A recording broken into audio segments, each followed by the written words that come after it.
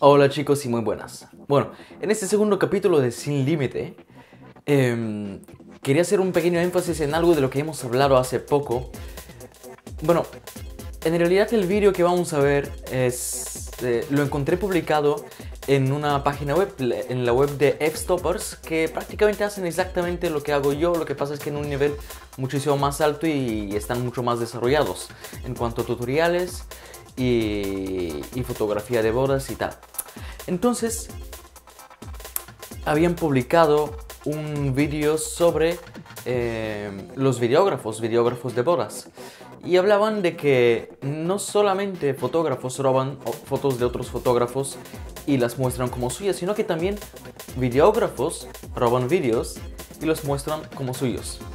Pero bueno, este fue el tema y para demostrar lo complicado que es el trabajo de un videógrafo que realmente quiere conseguir algo bueno, pues habían publicado el vídeo eh, que vais a ver que os voy a mostrar. Prácticamente. Entonces, yo quería, meter un poquito más sobre el tema porque el vídeo que vais a ver es como un making of, o sea, una grabación de un día entero. En realidad son como 5, 6, 10 minutos como mucho. Está en inglés, pero vais a entender todo por muy poco que habléis porque veis lo que están haciendo prácticamente.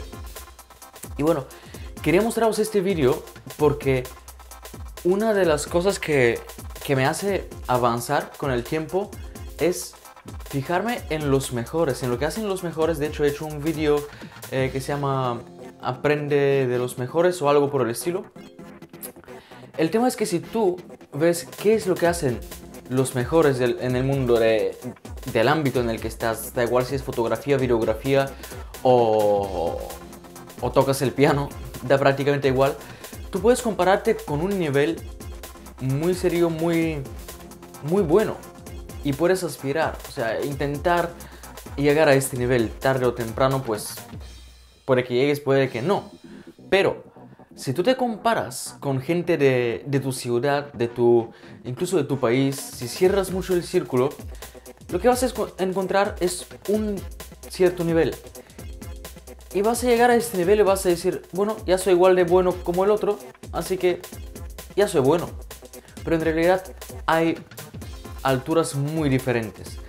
Por eso mismo, y ya que vivo en España normalmente y, veo lo que hacen los videógrafos de bodas, que cobran por ejemplo mil y pico euros por un vídeo y te dicen que es super full HD.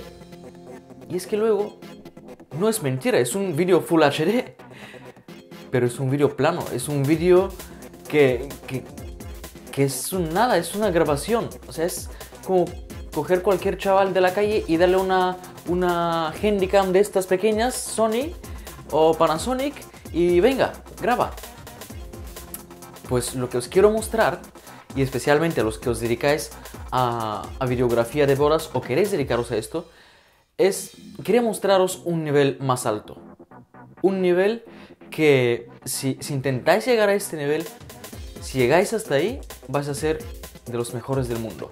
Si no llegáis, vais a ser mucho mejores de los que se pueden encontrar en tu ciudad o incluso en, tu país. Porque yo sé que solo en España hay unas cuantas empresas que ofrecen, bueno, no llegan a este nivel de vídeo, pero ofrecen algo parecido. Solo unas cuantas empresas. Sin embargo, en, todas, en cada ciudad igual puedes encontrar 10 o 15 o 20 videógrafos de bodas.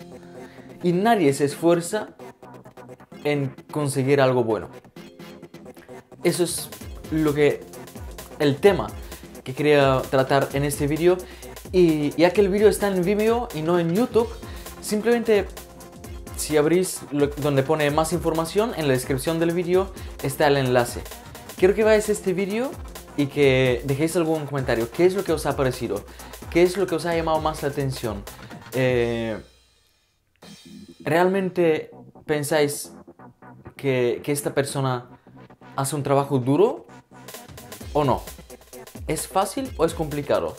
¿Es creativo o es repetitivo? Siempre lo mismo. ¿Qué pensáis simplemente? Quiero escucharos un poquito.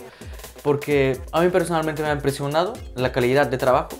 No sé lo que cobra esta gente, pero yo no creo que cobren menos de por ejemplo, 10 mil dólares, no menos, por un evento. Y creo que incluso 10 mil dólares serán pocos por lo que hacen.